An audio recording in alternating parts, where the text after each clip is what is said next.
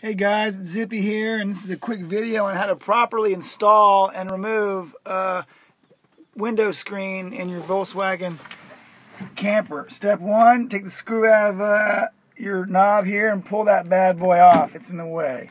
Um, this It sits in a slight recess right here, so it's sitting on top of this edge, but tucked under this edge. So all you really do is you go to the top, you grab the top, and you just pick up on it ever so slightly, and the bottom makes a space. And if it's if it's new like this one, uh, it sort of springs itself out at the bottom, and it kind of comes right out. You just pull it straight down and out, and now it's out.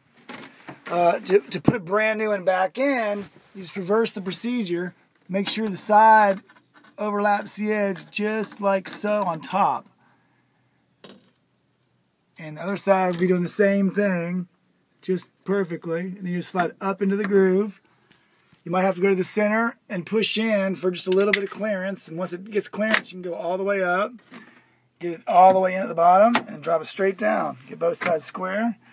Drop straight down. It's on the inside of this one, but it's on the outside of that one.